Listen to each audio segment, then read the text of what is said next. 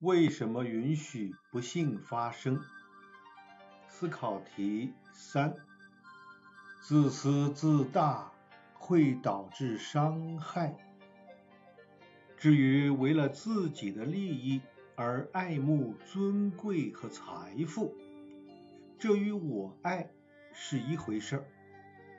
或者严格的说，就是出于我爱而热衷控制。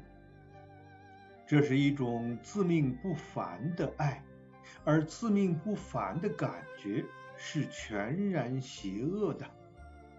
所以说，我们生来就全然是恶，我们遗传来的只有邪恶，我们所遗传的是出于我爱而缠绕我们的自我意识，尤其是因我爱。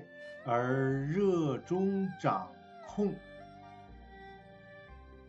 这是因为当我们被这种爱缠绕时，就会完全专注于自己，从而我们的思想和感情都沉浸在自命不凡的感觉中，结果我们的我爱之内就会有行伤害之爱。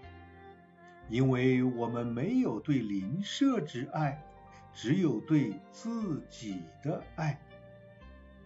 摘自《圣智》二百一十五节七。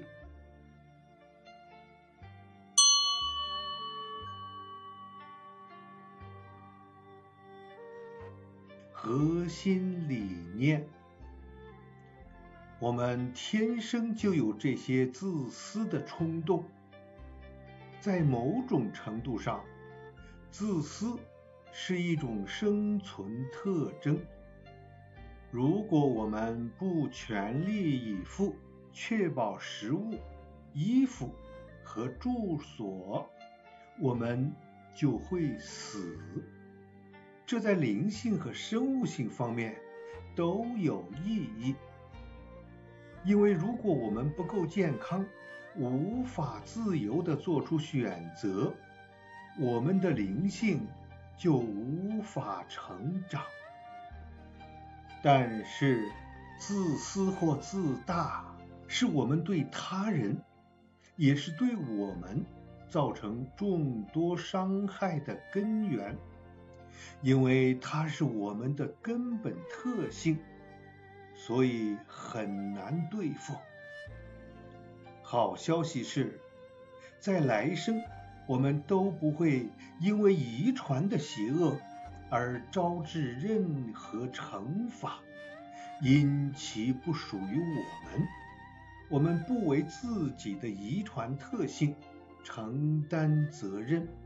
参见《天堂与地狱》三百四十二节三。